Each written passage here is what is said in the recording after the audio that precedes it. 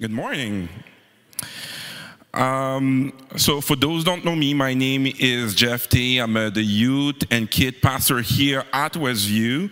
And uh, fun, fact, fun fact about me, uh, something that you you should you, you you will learn this morning. It's um, in summer 2017, uh, just before I became a youth pastor.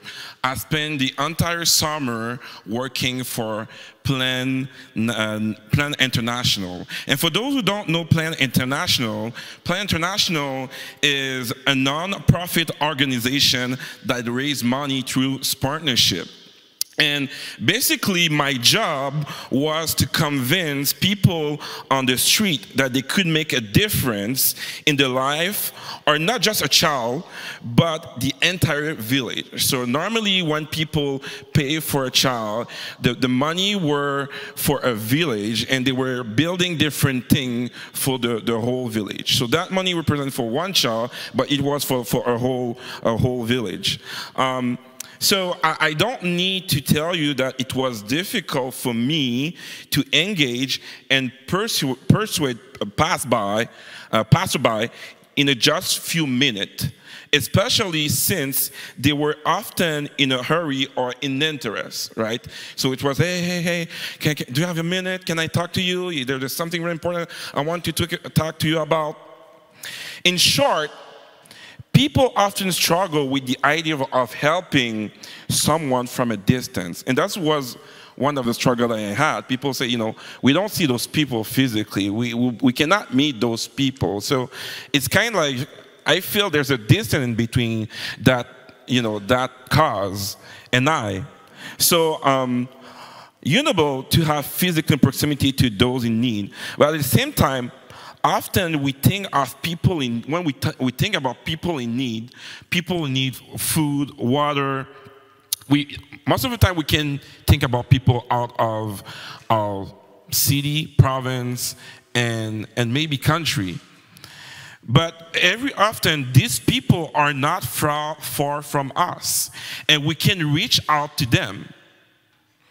And this is somehow, somewhat, somewhat how I pursue the mission also. Sometimes when we think about mission, we think about some Christian, some missionary who go away to some another countries to spread the gospel, talk about Jesus. And, and for those who don't know, Okay? Jesus commanded his disciple to go into all the world to proclaim the, to proclaim the gospel and baptize new believers in the name of the, the Trinity. Jesus gave us a mission to teach and to be disciple so that the others might also become believers. And this is in Matthew 28, the verse 19, 20. I'm paraphrasing what Jesus said. So, so I, I can understand, I can understand that when we think of missions, we think of Christian going elsewhere in the world. However, the people around us also need the gospel. And we can often forget that the mission here and now is possible and important. The mission here and now mean spread the gospel around you with your neighbors, at work, at school. You can be mission here and now. So, um, you know, we, we are currently in Acts, Acts for like a couple of months, and this morning we dig in in Acts 8, the verse 26 to, to 40, and it is a story of Philip. Uh, there's mention of three Philips in the Bible, um, but that Philip, who, who with the, the help of the Holy Spirit, experience the mission here. Here. And this is a scripture that I'm going to read that we'll focus this morning. As for Philip, an angel of the Lord said to him, Go south down the desert, road that runs, runs from Jerusalem to Gaza. So he started out and he met the treasurer of Ethiopia Okay, I'm stopping there. Last time, I don't know if you were there, but there's a time I preached and I was not able to make the difference uh, of two words, okay? Unique and unique, okay? So I don't know if I, I say it well, but this morning it will be a practice, okay? That's uh, it's really funny. Okay. So he started out and he met the treasurer of Ethiopia, a eunuch of great authority under the Candace, the queen of Ethiopia. The eunuch had gone to Jerusalem to worship, and he was now returning. Seeing his courage, he was reading aloud from the book of prophet Isaiah. The Holy Spirit said to Philip, Go over and walk along beside the carriage. Philip ran over and heard the man reading from the prophet Isaiah. Philip asked, Do you understand what you are reading? The man replied, How can I, unless someone instruct me? And he usually to come up into the carriage and sit with him. And we're stopping there. There's something else after um, that part. So, so basically, just to give you a little bit of context, Philip was uh, um, an apostle. He, he, was sent by God to Samaria and to preach the gospel. And although there, there's no uh, an explicit mention of the construction of a physical church by Philip, his action led the formation of a significant Christian community in that region. And, and, during his stay in, in, Samaria, Philip preached to the inhabitants, performed miracles, and covered many people. The crowds listened attentively to Philip, and many were healed in various diseases and delivered from evil spirit. So Philip had a fine field of work in Samaria. Everything went well. Like he had a good ministry, he built a great community, everybody was was fine. There were new believers, and believers was already believers continued to grow spiritually. But the, the angel of the Lord, without further explanation, sent him far away along a desert path. Oh, desert and desert. That was also a, mistake for, yeah, desert. So Philip obeyed and soon found a job to be done to proclaim the gospel, not to a crowd, but to a single man. Philip followed God's will, he followed God's spirit, he follows, he follows God's move, and, and he sees the opportunity to preach Jesus. In that story, Philip had nothing to do. All the initiative came to God. He just said, You know, Philip, I'm calling you now. Just get up and follow me. And Philip didn't ask, what, For why? What, why do you ask me to, to get up? Why do you ask me to go there? Philip just get up. He stand and, and he went where the Spirit like were guiding him. And, and you know, Philip had been an instrument in Samaria in the way where, where he was, in a way, in his glory, in his comfort zone. Everything went well. There were no reason to leave that place. He were in a good spot. But Jesus took him out of his comfort zone and guided him to go into the desert. He didn't know why or why his calling was there. So he left his work calling where he was. There was no reason to leave, and as everything went well. But the obedience of Philip was a game changer. His obedience came from his, his sensitivity to God's voice. Sometimes we we can like as a sometimes as a child of God, as a Christian, sometimes we can we can have the impression that we, we're not able to recognize God's voice.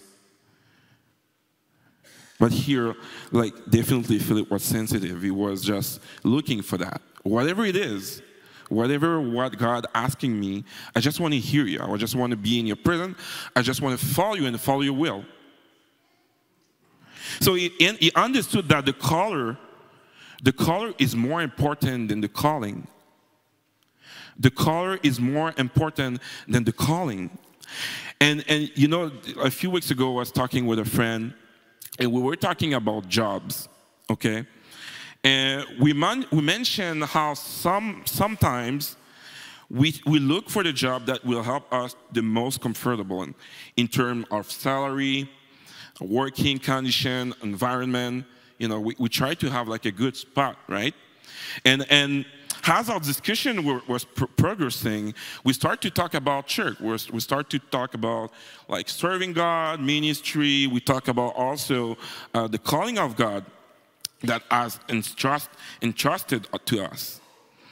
And, and we, we, we mentioned that sometimes also in our ministry, our calling, we can feel a little bit comfortable, right? We, we didn't plan at all to, to leave the community we are. We're not planning to, to make some change. We just, we good. We good. And we might feel maybe like Philip when he was in Samaria. Everything is good, well.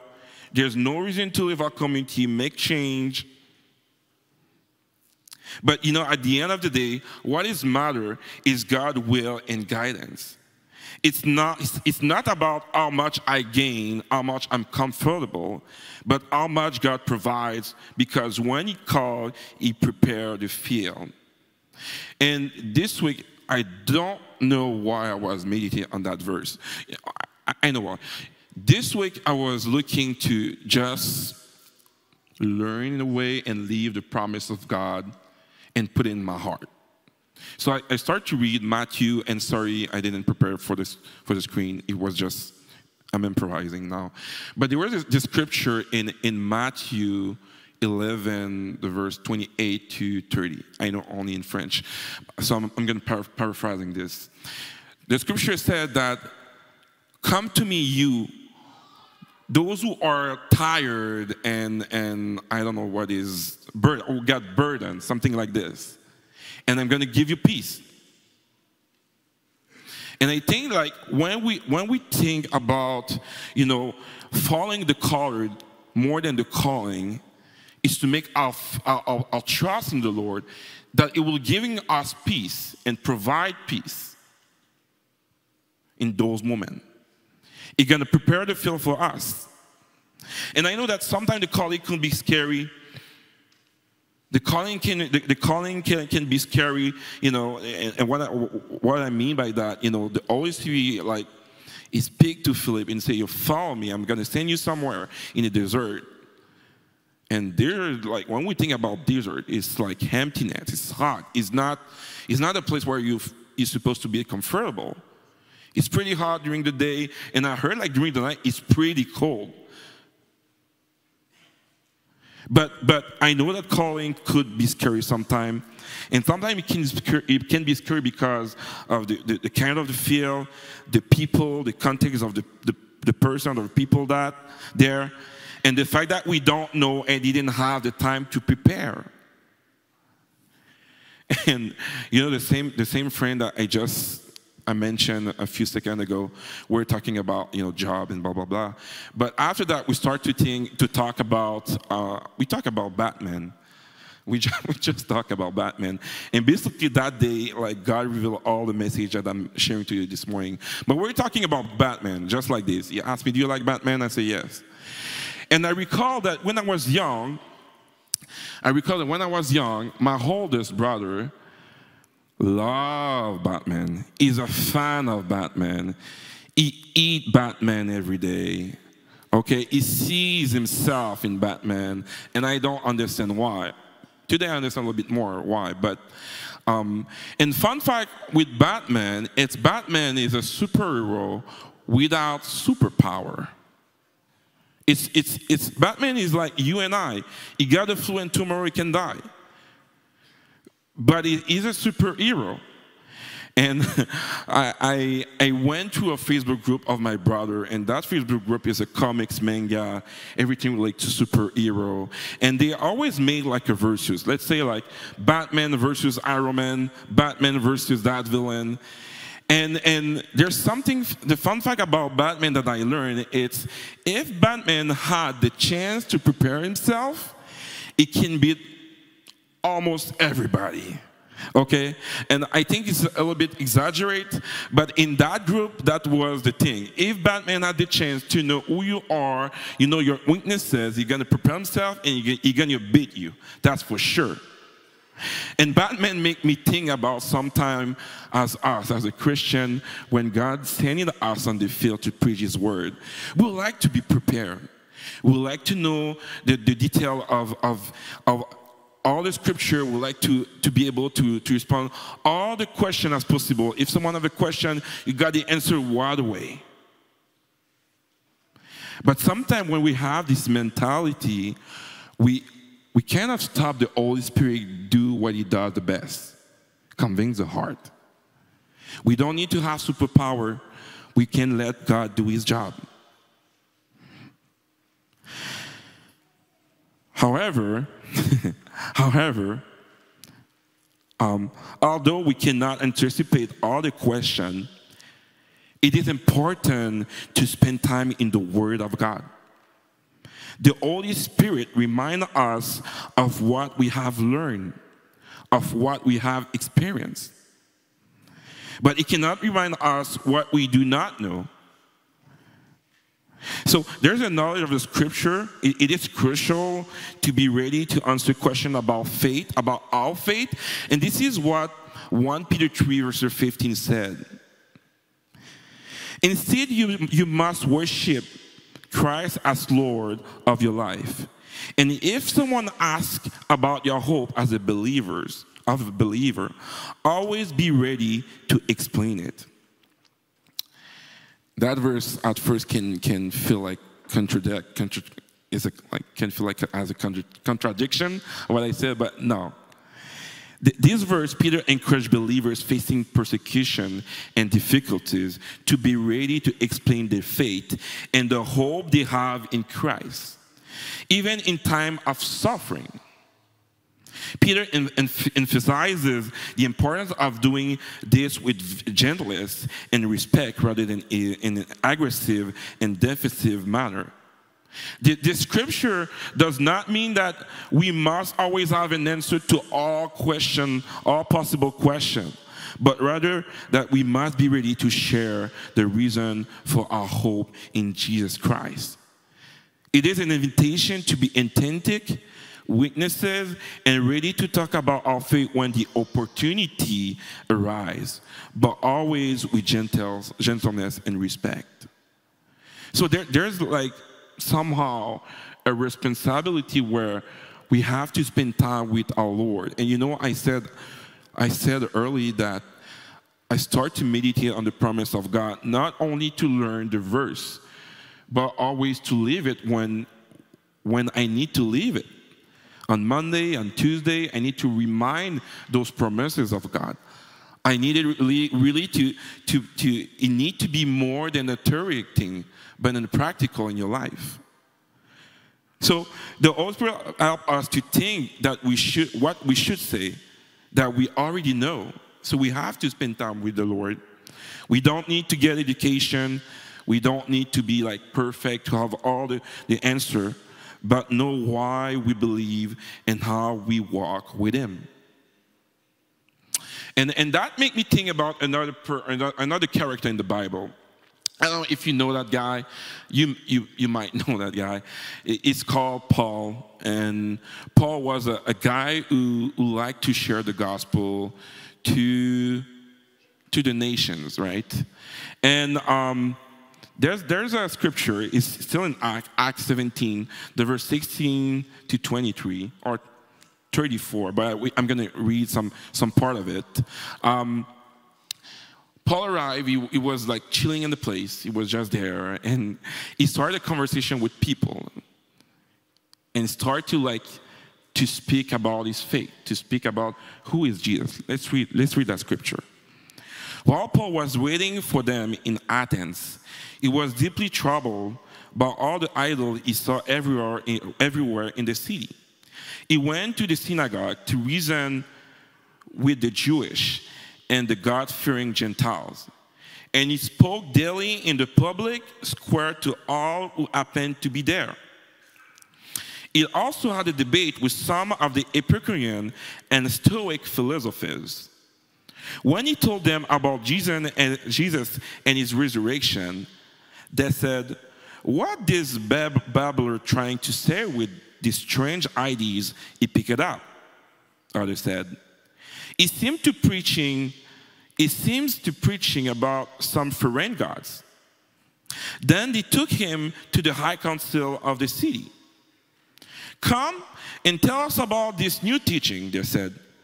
You are saying some rather strange things, and we want to know what it's all about. It should be explained that all the Athenians, as well as the foreigners, foreigners in Athens, seems to spend all the time discussion, discussing the last, last ideas. So Paul, standing before the council, addressed them as follower, follows. Men of Athens, I notice that you are very religious in every way. For as I, was walking along, I saw, you, so I saw your many uh, shrines. And one of your altars had the inscription on it, to an unknown God. This God whom you worship without knowing is the one I'm telling you about. And, and, and we, we stopped there, but, but Paul continued to just like establish like a kind of connection with the, with the crowd and start to like, you know, you and I, we believe that there's, there's something over us. And he, he continued with just describe how God it is. Who is God for him? Until like Paul started to talk about resurrection. So there were like a gradation of how Paul was, was speaking to about God and who is God, who is Jesus. And people, people were people stopped him when he started to talk about resurrection. And this is what the scripture said. When they heard Paul speak about the resurrection of the dead, some laughed in content, but others said, We want to hear more about this later. That ended Paul's discussion with them, but some joined him and became believers.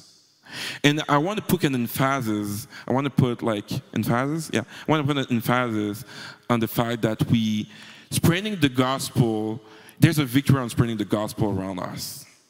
There's a victory spreading the gospel around us. We can see that scripture and feel like at first, oh man, a lot of people out of me have him, of Paul. It didn't have seem look good to peep to the eyes of people. But at the end of the day, he make the gospel known. He make Jesus' name known. He make the resurrection known. He make sure that people know that there's a God that came on came on earth for the humanity because he loved us. He gave his life for us. He went to, to the cross. Now he was nailed on the cross. He died and, and resurrected after three days for us because he loved us. And sometimes I think that we we shut down, we, we can shut down sometimes opportunity that God give us, give us, or we're not really paying attention. We don't believe that we have a calling of power for a change in people's, in people's life. Sometimes we underestimate the interest of people in knowing God. Everything is already prepared by God, as, as with Philip. He didn't have much to do than spend time with God and know who He is for him. And I think that we need to, to bring this hope and joy to people. Because there's, there's joy and hope. There's joy and hope. And that's what Paul said Paul did. And that's what Philip did when he, he went to that carriage and spent time with the eunuch. This is the end of the story with like a jump in that story of Philip with the eunuch. This is the end of that story. As they rode along, they came to some water so basically, the, the eunuch was reading a scripture in Isaiah, and that scripture in Isaiah was explaining how Jesus suffered. And they didn't understand, was it Isaiah that was suffer? I, I, don't get it. So Philip started to preach the gospel. He preached who that was Jesus, that Jesus suffered for our sins and take our sin on the cross. And the scripture said that as they, they rode along, they came to some water, and the eunuch said, Look, there's some water. Why can I be baptized? He ordered the carriage to stop, and they went down into the water, and Philip baptized him. When they came out, they came up out of the water. The Spirit of the Lord snatched Philip away. The eunuch never saw him again, but went on his way rejoicing. Meanwhile, Philip finds himself farther north in the town of Azotus and blah, blah, blah. But something that's really interesting about that part, it's, it, it's, it's not about Philip. That story is not really about Philip. It's about the message that was bring to someone.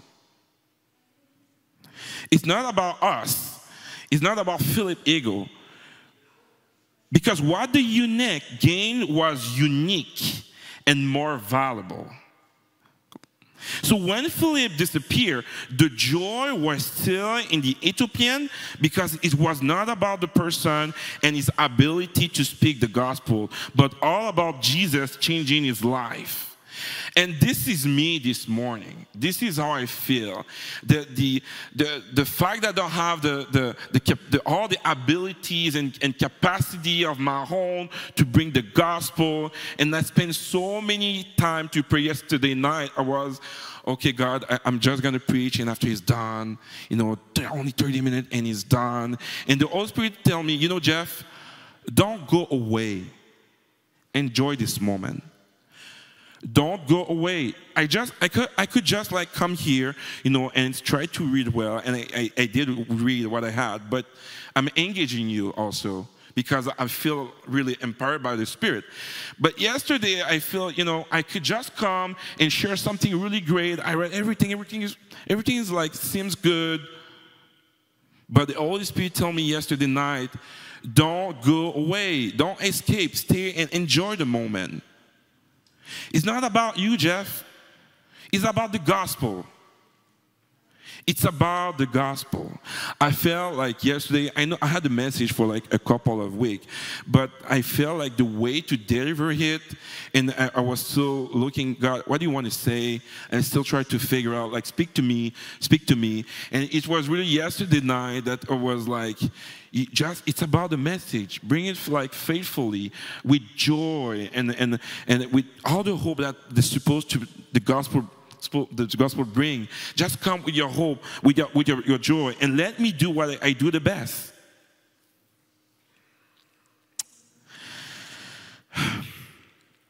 So it's not about ability to speak the gospel, but all about Jesus changing his life.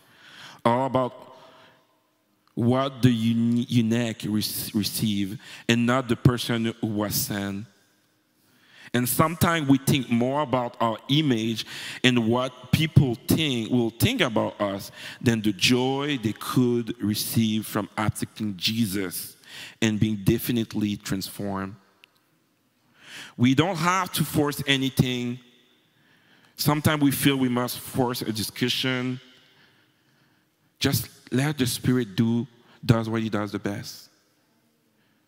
And you just Spend your time with God. Look, look, look, look for Him. Look for Him. Eh, eh, eh, stop trying always to calculate everything.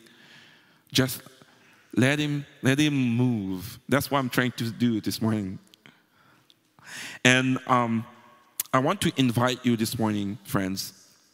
I want to invite you this morning. You know, there's, I will say there's a few, I will say like a few months, but I will say a year, I'm looking for someone, and maybe maybe I find that that person and I just never like, I never like pay attention to that. But I'm looking for someone to invest. I'm looking to someone through who I can I, I, I can I can spread the gospel. I'm looking for someone in that season that God want me to spend time to pray and share the gospel, share his love. And I want to invite you also um, I want to finish with, with a time of reflection. Um, so we can think about what God calling us in this season for ourselves. What is, what is God ask you to do? Where is the place that God's sending you? In which desert? Which place?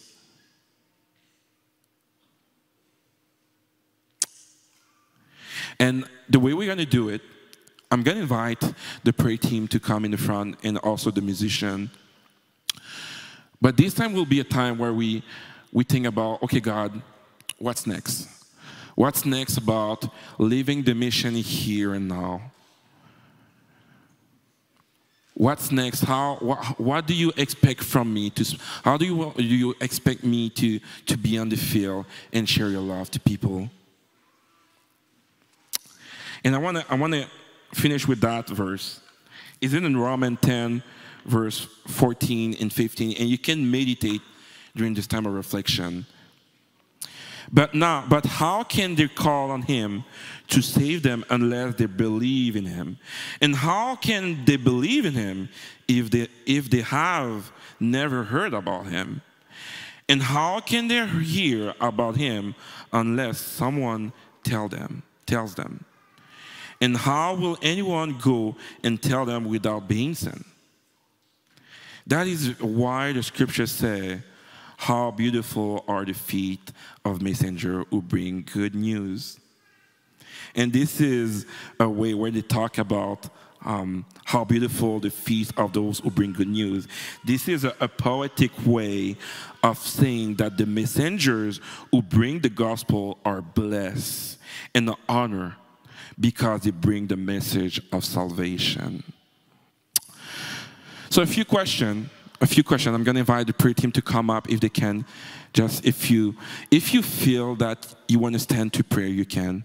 If you feel you want to stay sit, you can stay sit. If you want to pray with someone beside you, can also. Just uh, do what I tried to, to do this morning. Let the Spirit move. Let the Holy Spirit move in you. And this is a true question we're going to dig in and reflect on. Who's, who is God calling you to evangelize this season? What can you do to get people around you talking about the gospel? Do you have someone in mind for whom you can pray and invest your time to show the, the cross? So let, let's take that time to reflect on our life. God, how do you call me in mission here and now? How it look like at the job where I'm living with my neighbors, at school. Just let the Spirit move. Holy Spirit move.